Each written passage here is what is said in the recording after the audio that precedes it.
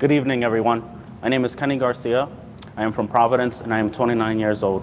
I am also proud to share that as of this week, I am making my CCRI comeback. Thanks to the joint admissions agreement, I am also admitted to URI to pursue a bachelor's degree. I had been out of school for 10 years, but I knew I was ready for a comeback. I wish to earn my degree to position myself for a leadership role at my current employer. CCRI support makes a difference for me because my family has been challenged like many families during COVID-19.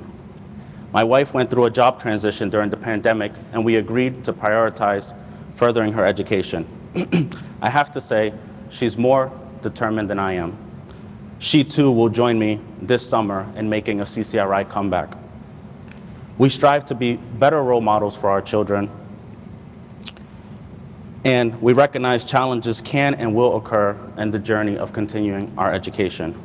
If you surveyed a group of inactive students, I am confident the top answer for pausing or stopping college is finances. Add on this past year's challenges, and the results are likely overwhelming. Uncertain and dark times continue for many of my classmates, and they say when it's dark, you need to feel your way out. A scholarship such as the Comeback Scholarship can be your way out. This is an opportunity for us to invest, invest in ourselves, and invest in my classmates continuing their education.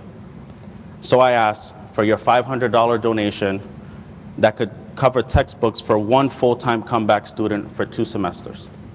Thank you.